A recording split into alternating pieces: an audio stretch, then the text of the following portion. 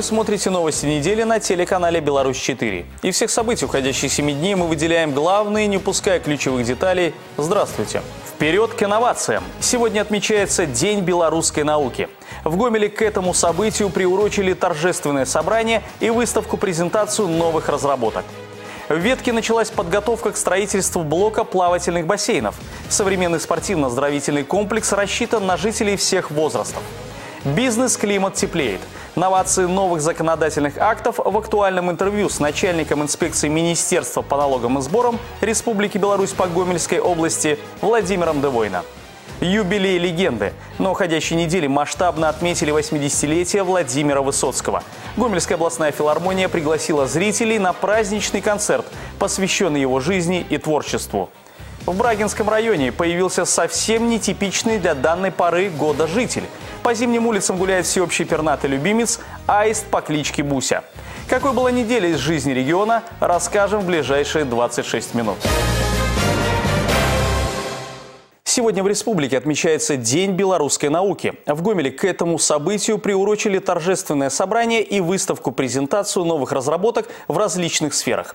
Именно эти инновации помогают предприятиям осваивать новую, востребованную на мировых рынках продукцию, улучшать экологию и внедрять новые технологии в медицине. О научных достижениях и не таких уже далеких перспективах материал наших корреспондентов.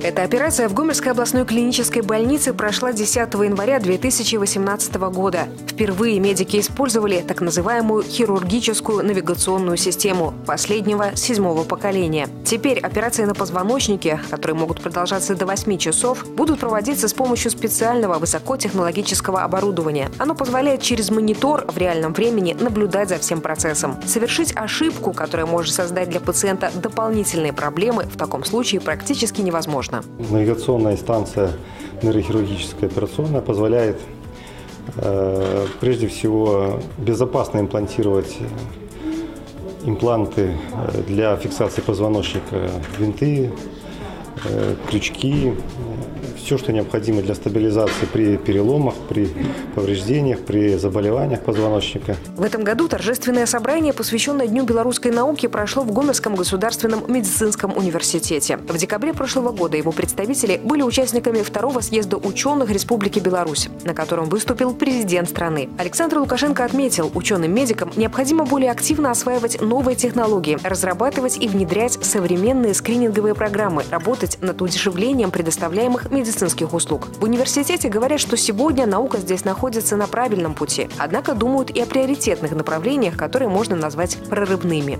Такие разработки, как стволовые клетки, они применяются и разрабатываются при лечении хронических заболеваний печени у нас широко.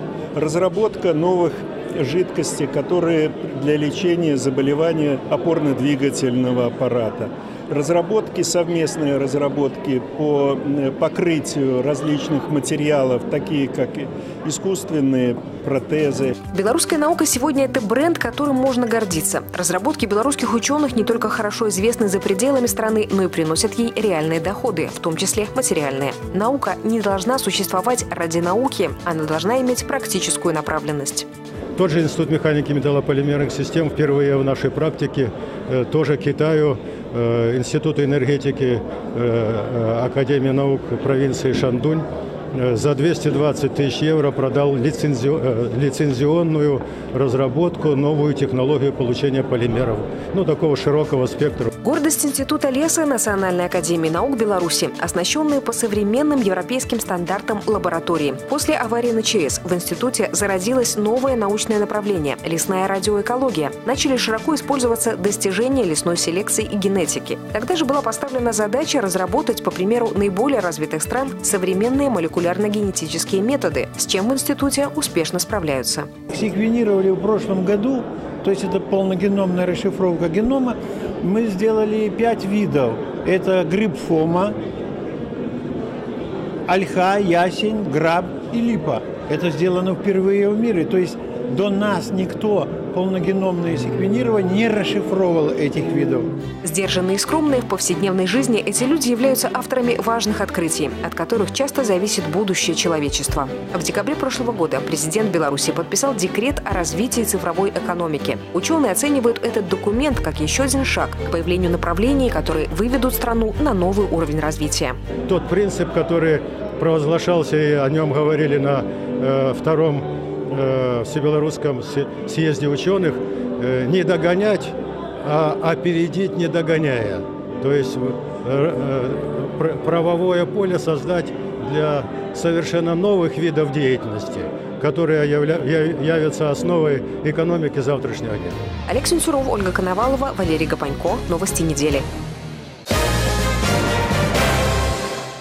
В Ветке началась подготовка к строительству блока плавательных бассейнов. Напомним, согласно распоряжению президента Беларуси Александра Лукашенко, 1 миллион рублей на эти цели выделен из резервного фонда главы государства. Плавательный бассейн – социально значимый объект, которого в Ветке никогда не было. Его необходимость объясняется несколькими причинами, самое главное из которых – потребность в оздоровлении населения, проживающего на пострадавших территориях. Строительство бассейна началось в прошлом году. Завершить его планируется в 2018 Объект будет расположен возле центрального городского стадиона, что позволит создать ветки современный спортивно-оздоровительный комплекс, рассчитанный на жителей всех возрастов. Вы смотрите новости недели. Мы говорим о главных событиях уходящих семи дней. Программу продолжит обзор от службы информации.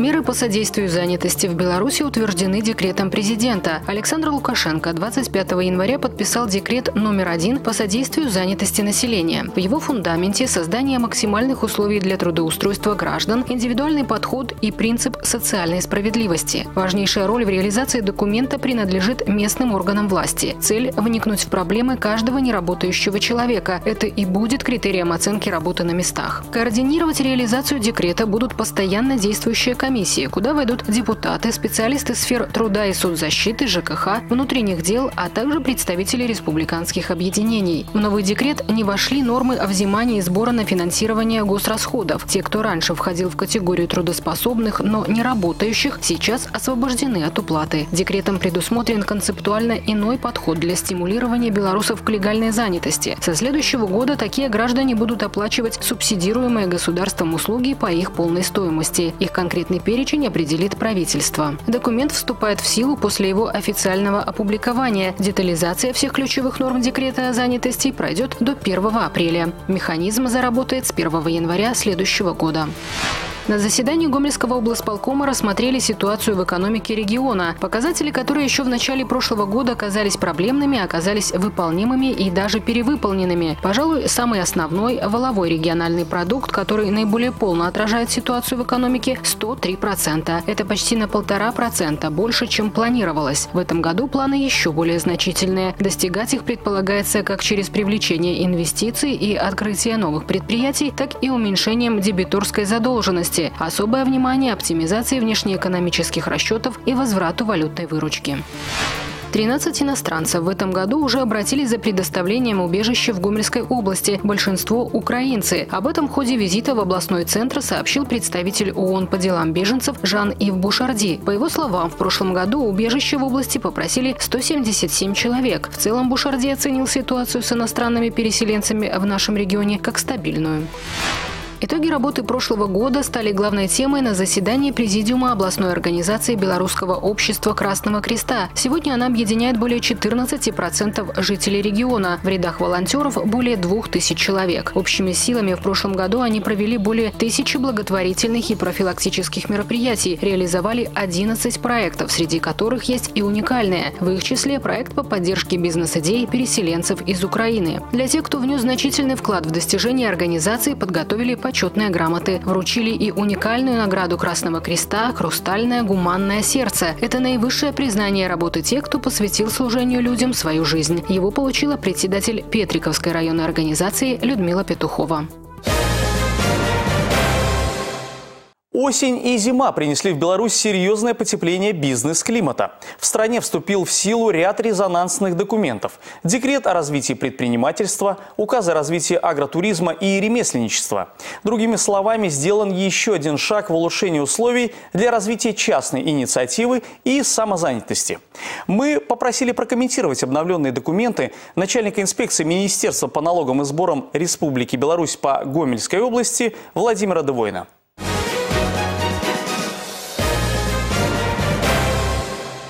Владимир Васильевич, говоря о поступлении налогов в бюджет, каким был э, в этом плане финансовый 2017? 2017 год поступление платежей в бюджет напрямую зависит от работы реального сектора экономики. Э, прогнозные показатели сложились успешные, поэтому и поступление платежей в бюджет было э, с, динами с динамикой на увеличение. 2 миллиарда 251 миллион рублей – это консолидированный бюджет Гомельской области. Это порядка 102% от плановых назначений. Выполнен республиканский бюджет, выполнен местный бюджет. Более 77% поступления от предприятий государственного сектора экономики экономики. Определенная часть, порядка 17%, это поступление от э, малого и среднего бизнеса. 2,3% поступления индивидуальных предпринимателей, 3% поступления от физических лиц. Основную долю налоговых э, поступлений составляет подоходный налог, порядка 22%, Э, акцизы и налог на прибыль. Вот эти три источника дают э, более 50% доходной части бюджета. 2018 год. Э, все мы хотим стабильности. В связи с этим очень интересно, стоит ли ждать значительных изменений в налоговом кодексе? Седьмым декретом глава государства определил, будут они или не будут. До 2020 года э, значительных изменений не будет. На 2018 год в том числе. Главой государства э, дано поручение до 1 сентября э, внести, э, доработать налоговый кодекс, максимально его упростить, чтобы он был э, доступен для всех субъектов предпринимательской деятельности, как организаций, предпринимателей, физических лиц, но в то же время сохранить объем поступлений. Поэтому 2018 год он стабилен. Э, ставки налога до 2020 года или новые налоги до 2020 года вводиться не будут. Осень и зима принесли в Беларусь серьезное потепление бизнес-климата. К примеру, указ президента о э, развитии э, ремесленной деятельности, который вступил в силу в середине января. По каким правилам теперь будут работать мастера хендмейд? 8 нормативных документов. Конец 2017 года, начиная с 19 сентября и заканчивая уже декабрем месяцем, в том числе и ремесленная деятельность. Э, в области сфера этой деятельности, конечно же, развита. Что здесь нового? Это э, возможность э, ремесленнику сегодня продавать свою продукцию в более в широких местах при помощи интернет-ресурсов, продавать его, свою продукцию с производственной своей базы. И что важно, раньше ремесленник мог иметь одного подмастерья, одного ученика. Э, сегодня э, можно иметь ему троих подмастерий, троих учеников, но это, э, скажем так, неоплачиваемая Э, работа – это работа научиться этому виду деятельности. Иметь возможность где-то что-то потом, э, после получения вот этих навыков, организовать какой-то свой бизнес, заняться в сфере ремесла своим направлением. Еще один документ, э, декрет номер 7, который стимулирует как раз-таки самозанятость, инициативность и расторопность. Как считаете, почему этот документ уже сегодня называют долгожданным и где-то резонансным? Общаясь с субъектами предпринимательской деятельности, особенно э, в сфере производства, в сфере общественного питания, э, высказывались ряд нареканий на обременение ведения бизнеса. Э, создание условий, которые приходилось терять определенный период времени, чтобы запустить этот бизнес. По ряду направлений. По... Самое главное, что здесь положены принципы. Принципы взаимосотрудничества государства и субъекта предпринимательской деятельности. Их там несколько прописано. И если мы вот эти принципы возьмем за основу и выполним, то мы много чего здесь достигнем. Упростится требования э, МЧС, э, санитарной службы, э, карантинной службы. Что касается налогового законодательства, тоже есть, конечно, упрощение. Элементарно, если э, физическое лицо, индивидуальный предприниматель мог оказывать услуги по ремонту в своем гараже, в каком-то гаражном кооперативе, надо раньше было ему иметь согласие э, членов гаражного кооператива. Сегодня такого согласия иметь не надо. Его инициатива коллектива, и он осуществляет деятельность. До 2020 года не изменение налоговой нагрузки на субъектов предпринимательской деятельности, что позволит субъектам спланировать свою деятельность, э, спланировать свою прибыль и видеть, куда дальше можно расширяться. То есть эти документы э, как раз-таки ту самую стабильность, которую мы так ждем и к которой привыкли, гарантируют? Э, я думаю, да. Но это, я думаю, не последний документ, потому что э, пришло время, когда мы э, совершенствуемся. Государственное управление совершенствуется и слушаем бизнес в части того, какие ниши он хочет, э, скажем так, исследовать и куда хочет попасть. Государство должно создать условия, а бизнесмен должен пойти на эти условия и зарабатывать и платить налоги. Владимир Васильевич, спасибо за интервью и до новых встреч в эфире «Беларусь-4». Вам большое спасибо. В Речице на этой неделе состоялись торжества по случаю 20-летия Центра специальной подготовки до призывной молодежи «Скиф». Это единственное в Беларуси подобное учреждение. Цель его работы – воспитание физически и нравственно здоровых подростков. О центре, благодаря работе которого Речицу неофициально называют столицей ВДВ и сил специальных операций. Материал Светланы Князевой. Мы в «Скифе» все когда-то начинали, старались программу изучать стрелять, летать под воду, погружаться. Сейчас страну мы можем защищать. Внешне эти ребята не отличаются от сверстников, но если взять во внимание и физические способности, то становится понятно, что за их плечами школа настоящих мужчин. Воспитанники Центра специальной подготовки до призывной молодежи «СКИФ» прошли отличную школу по воздушно-десантной, легкой водолазной подготовке, штурмовому альпинизму, рукопашному бою, огненной и тактика специальной подготовки. И все благодаря личной заинтересованности создателя и неизменного руководителя Центра Владимира Габрова, у которого получается уводить ребят с улицы и объединять вокруг себя. Здоровый образ жизни, возможность заниматься настоящими мужскими делами, популяризация службы в спецвойсках – задачи, которые изначально ставил Владимир Габров. На сегодняшний день уже более пяти человек э, выпускников Центра подготовки СКИФ проходит службу силы специальных операций. Ни, в одно, ни по отношению к одному из них не было никаких нареканий со стороны руководства. Я считаю, что это правильная работа, это нужно поддерживать. И если такие клубы будут создаваться и в других населенных пунктах нашей страны, мы будем только к этому счастливы и довольны. Они досто... растят достойную смену людей, которые придут к нам на службу. За два десятка лет через СКИФ прошли несколько сотен воспитанников. Более 20 из них поступили в высшие учебные заведения по специальности. Более 100 медалей завоевали на областных, республиканских и международных соревнованиях. 17-летнему Глебу Лазаренко в свое время в совсем еще юном возрасте попасть в СКИФ удалось лишь благодаря отменной физической подготовке. В свои 8 лет за минуту он отжался 98 раз. В 9 стал самым молодым парашютистом в Беларуси. Еще его называют «человек-лягушка». Парень способен на задержке дыхания переплыть бассейн два с половиной раза. Скиф для меня сейчас на данный момент это, это моя жизнь, считай, это кусочек моей жизни, в которой я живу, общаюсь с, с разными людьми. Э, тренер для меня стал, считай, вторым отцом. Весь опыт, пройденный мной здесь, мне понадобится в будущем. То есть э, будет ли это простая гражданская жизнь, либо это буду я служить где-нибудь. С самого начала существования центра для обучения его воспитанников собиралось все, что имеет отношение к ВДВ и спецназу. С годами коллекция экспонатов стала настолько большой, что позволила скифовцам открыть собственный музей. Этот музей стал первым музеем воздушно-десантных войск и подразделений специальных операций в нашей стране. Разместился в здании Реческой районной гимназии. И хоть по площади он не такой уж и большой, показывать его экспонаты и рассказывать о них скифовцы могут на протяжении как минимум двух с половиной часов.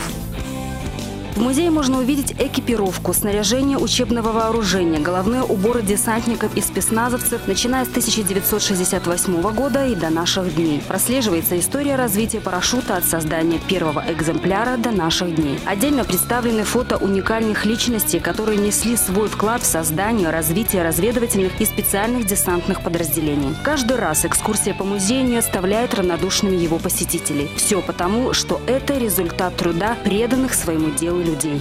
Скиф для меня, конечно же, это большая часть моей жизни, активной, э, моей молодости, моего здоровья связана с созданием и развитием Центра специальной подготовки «Скиф».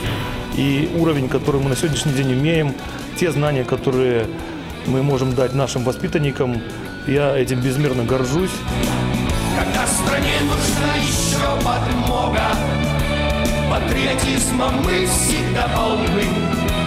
Всегда придем на помощь мы народу, и рубежи страны укроем от беды. Светлана Князева, Павел Антонов. Новости недели. Далее в программе обзор культурных событий. Неделя выдалась по-особенному богатой на концертные выступления. Гомельская областная филармония пригласила зрителей на музыкальный вечер, посвященный 80-летию со дня рождения Владимира Высоцкого «Я люблю и значит я живу». Песни легендарного советского поэта, актера и автора-исполнителя гостям подарили солисты эстрадно-симфонического оркестра имени Юрия Василевского. А музыканты гомельских городских оркестров тем временем погрузили своих зрителей в романтическую атмосферу джаза. В областном драматическом театре прошел настоящий праздник музыки и живого общения. Концерт «Зимний джаз» объединил истинных ценителей и мастеров виртуозной игры. За жизнью в мире культуры всю неделю наблюдала Вероника Ворошилина.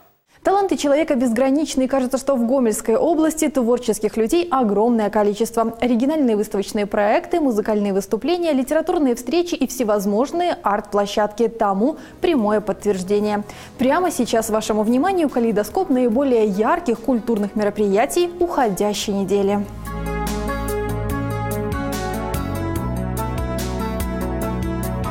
В Музее истории города Гомель открылась выставка вышивки Валентины Игнатенко. В экспозиции более 30 авторских работ в технике вышивки крестом. Это городские пейзажи, портреты, классические сюжеты и репродукции картин всемирно известных художников. Творческие полотна Валентины Игнатенко выполнены тонкими ажурными нитями. Они передают отражение в лужах после дождя, схождение солнечных лучей на лепестки роз, легкое порхание птицы-бабочек, материнскую любовь и нежность.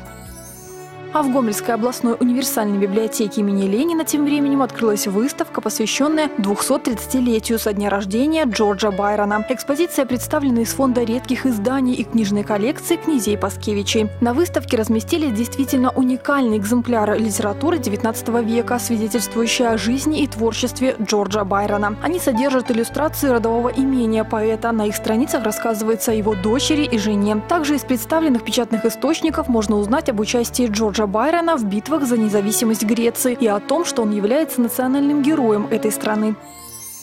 Запомнилась уходящая неделя и многообразием концертных программ. Гомельская областная филармония пригласила зрителей на музыкальный вечер, посвященный 80-летию Владимира Высоцкого «Я люблю и значит я живу». Выдающийся поэт, актер, автор-исполнитель. Владимир Высоцкий – символ советской эпохи, фигура культовая и легендарная. Со сцены Гомельского общественно-культурного центра песни Владимира Высоцкого звучали в исполнении солистов эстрадно-симфонического оркестра имени Юрия Василевского и бардов. Артисты их подали так, как некогда исполнял и сам автор автор с человеческим обаянием, предельной искренностью и особой энергетикой, одновременно вложив в них свои чувства.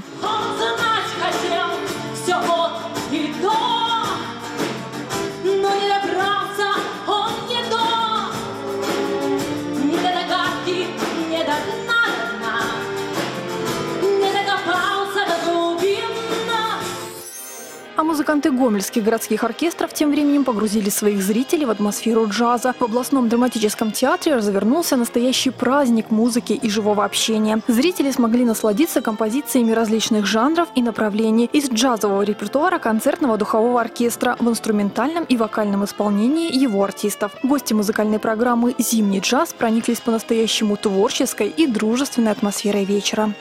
Следующая неделя нам также подарит немало интересного. В Гомельском дворце культуры железнодорожников состоится концерт камерного хора областной филармонии. Выступление пройдет под руководством художественного руководителя и главного дирижера коллектива, заслуженного деятеля культуры Республики Беларусь Елены Соколовой. Концертная программа под рождественской звездой позволит зрителям отправиться в музыкальное путешествие по разным странам мира, окунуться в праздничную атмосферу и получить заряд хорошего настроения. А тем временем Светлогорский историко-краеведческий музей всех желающих приглашает на выставку «Джунгли за стеклом». Здесь можно увидеть живых ящериц, змей, пауков, черепах и других представителей тропической фауны разных континентов. Выставка будет увлекательна и познавательна как для детей, так и для взрослых. Обзор наиболее ярких культурных событий для вас подготовили Вероника Ворошилина и Евгений Макеенко специально для программы «Новости недели». Остался зимовать. В деревне Осаревичи Брагинского района по зимним улицам гуляет аист. Правда, сильных морозов птица не любит и прячется от них в курятнике. Раньше гнезда аиста здесь исчислялись десятками, а в прошлом году их количество значительно сократилось. По мнению местных жителей, повлияла засушливая погода, когда лягушек, которыми питаются птицы, стало значительно меньше. По этой причине некоторых птенцов взрослые аисты начали выбрасывать из гнезд. Вероятно, так на земле оказался этот аистенок. Местная жительница Ирина Сафронова, у которой поселился аист по кличке Буся, говорит, что очень надеялась. Осенью он вместе с другими птицами отправится в теплые страны но по каким-то причинам этого не произошло. Ограничений местные жители птицы не создают. В любой момент она может улететь куда захочет, но с наступлением морозов такого желания Буся не выказывает. При плюсовых температурах аист обычно совершает прогулки по деревне и ее окрестностям. Причем около дорог, где птицу угощают автомобилисты, она движется исключительно по обочине и никогда не создает проблем водителям. Аиста Бусю можно увидеть и на школьном дворе, и на автобусной остановке. Теперь это, пожалуй, самый знаменитый житель деревни Осаревичи. На этом у меня все. Мы встретимся вновь в следующее воскресенье, чтобы вместе подвести итоги недели. До свидания.